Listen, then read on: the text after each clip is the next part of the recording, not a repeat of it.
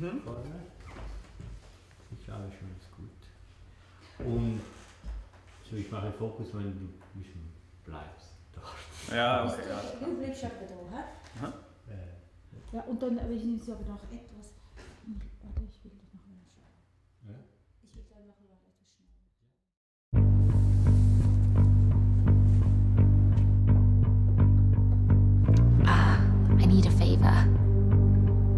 keys to the Maserati. Get over here. Now! Oh, we need to tie her up.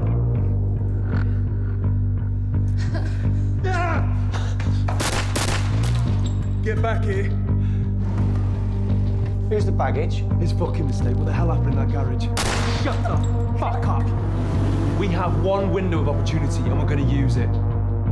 Late Shift ist ein Thriller, ist ein Heistfilm, aber wir gehen über das hinaus. Es geht um Entscheidungen und eigentlich möchten wir den Zuschauer dazu anregen, sich Gedanken über Konsequenzen seines Handelns zu machen. Bond Street. Sorry, mate, that's my train. Bond Street. Here. Look, it's on the other platform, mate. Which platform, please? Just through there. Thank you.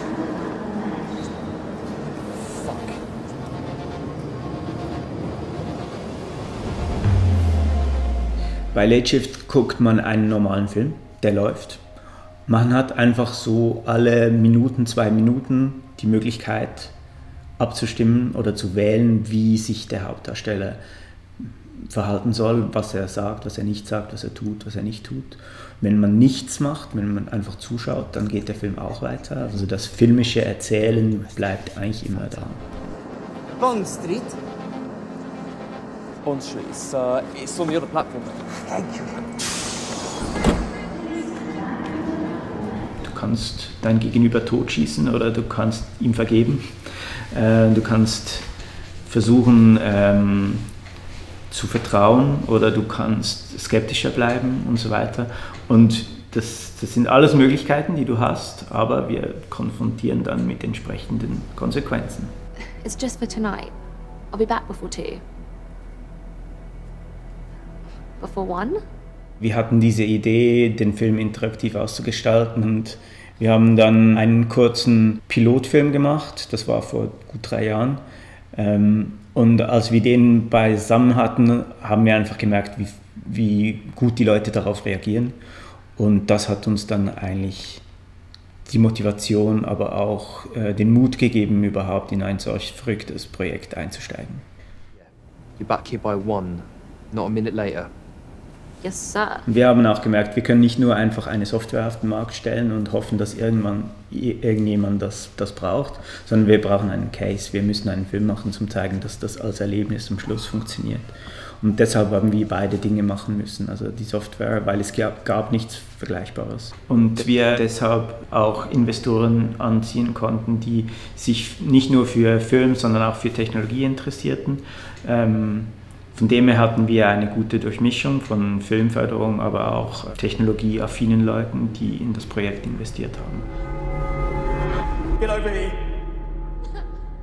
What for? Now! Also es war angedacht als Mobile Entertainment. Dass es dann auch ins Kino kam, hat verschiedene Gründe. Einerseits lässt die Förderlandschaft Schweiz nur das Fördern von Kinofilmen explizit zu. Also man muss mindestens die Absicht haben, ins Kino zu gehen. Und das andere ist halt, dass wir immer wollten, dass unser Produkt nicht als Game, sondern eigentlich als Film wahrgenommen wird. Und deshalb haben wir auch stark darauf hingearbeitet, dass man ihn wirklich als Kinofilm quasi ernst und wahrnimmt. Oh, you fucking idiot! Theoretisch sind es aber Tausende von möglichen Varianten, die man durchleben kann, wenn man das rein mathematisch anschaut. De facto würde ich sagen, guckt man den Film vielleicht zwei, dreimal ähm, und dann noch ansatzweise gewisse Schlüsse vielleicht oder so, um möglichst alles gesehen zu haben. Drop it. Dahinter liegen vier Stunden Material, drei Stunden Musical Score, 180 Entscheidungen, nochmal mindestens 200 Entscheidungspunkte oder Branchings, wo die Story auseinandergeht, die nicht auf individueller Eingabe der Zuschauer beruhen, sondern die auf bereits gefällten und alten Entscheidungen beruhen, um die Geschichte und äh, die Charakterentwicklung so stringent zu halten. Trust me, please. Wir haben uns einige Gedanken dazu gemacht, wie funktioniert das, wie können wir eine stringente Charakterentwicklung zum Beispiel zulassen, wenn wir gleichzeitig quasi einen Teil der Hoheit über die Geschichte äh, dem Zuschauer übergeben. Ähm, solche Dinge hat uns angetrieben. Auch die Frage äh, Plot und Subplot. Wie können wir das gleichermaßen weiterverwenden, so wie das normalerweise verwendet wird, oder geht das jetzt eher nicht? Wir haben uns jetzt stark vom Subplot distanziert in diesem Fall. Also wir erzählen eigentlich alles quasi immer mit dem Hauptdarsteller. Könnte man aber jetzt auch in einem nächsten Film vielleicht ein bisschen ausprobieren, das mehr aufzuweichen. Just stop. I can explain. Inside.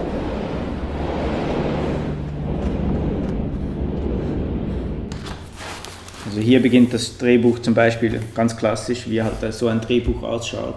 Aber dann geht es auseinander, man sieht die Option und dann wird es halt total auseinandergeschachtelt. Und alle diese Dinge sind halt einzelne Segmente, die auch wieder so gedreht werden müssen. Und deshalb ähm, ist es auch verständlich, weshalb die Leute da ersten, zuerst mal ein bisschen Berührungsängste hatten. Why'd you do that? Because I felt like it. Continuity ist viel schwieriger bei so einem Projekt, weil die Segmente müssen zueinander passen, dieser Schluss muss zu drei neuen Anfängen passen und so weiter. Also das ist alles ein bisschen komplizierter. Die Musik ist ein Riesenthema, weil die Szenen sind dynamisch lang. Je nachdem, was ich entscheide, geht die Szene länger oder kürzer. Trotzdem muss die Musik äh, wie ein normaler Filmscore funktionieren und sie darf ja nicht irgendwo abbrechen. Ähm, und, und, trotzdem muss sie sich wieder verändern, sobald die Emotion auch wieder ändert. Also wir haben einen eigentlich dynamischen Gamescore gemacht, der aber so gut sein und, und so gut klingen muss wie ein normaler Filmscore. Why'd you do that? Because I felt like it. Wir haben verschiedene Segmente zusammengekettet und zu kleinen Geschichten zusammengezogen. Zum Teil ist es mühsam, die Kamera in einen Gegenschuss zu, zu, nehmen, weil dann das ganze Licht wechselt. Und dann muss man sich überlegen, ja, bleiben wir jetzt bei dieser einen Variante der Geschichte und drehen ihn ab von, aus allen Richtungen. Ähm, das ist für die Schauspieler einfacher. Oder sagen wir, nee, äh, wir machen alle Varianten der Geschichte aus dieser Richtung und dann bauen wir um auf die andere Richtung und machen dann wieder alle Geschichten durch. Das ist einfacher für die Technik, aber es ist schwerer für die Schauspieler, um konsequent zu bleiben, ähm, dass die Stimmungen stimmen und so weiter. I can't give it to you. I can't. So you kill me for it? you won't be the first to die for it. There've been many of you before. You have your fucking mind. Ledges zusammenzuschauen ist wahrscheinlich fast spannender oder lustiger als alleine. Es war für mich ein Schlüsselmoment, als wir das zum ersten Mal als Testscreening gezeigt haben. Und zwar die ersten paar Entscheidungen äh, war klar, dass es laut wird im Saal, dass die Leute mitgehen und dass irgendwie wie mit dieser Gruppe, die da zusammen eine Schicksalsgemeinschaft äh, bildet und, und gemeinsam auf ein Ende zusteuert, dass das irgendwas Verbindendes hat, was spannend ist. It's in the safe. I collected the chest last night.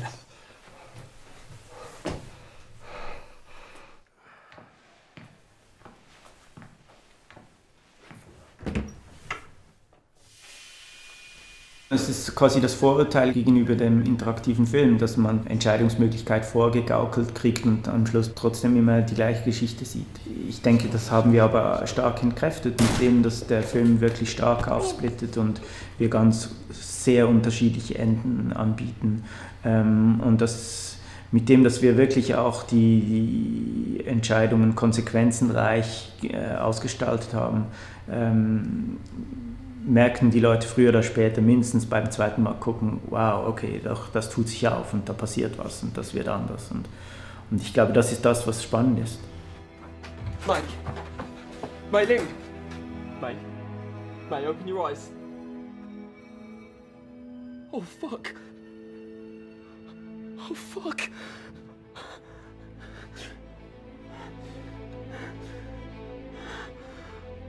Es wird auch spannend sein zu sehen, was machen andere Filmemacher jetzt mit der gleichen Technologie und auf welche Ideen kommen sie und wie interpretieren sie das und, und entwickeln das weiter. On police! Stay you are! Get the fuck off me!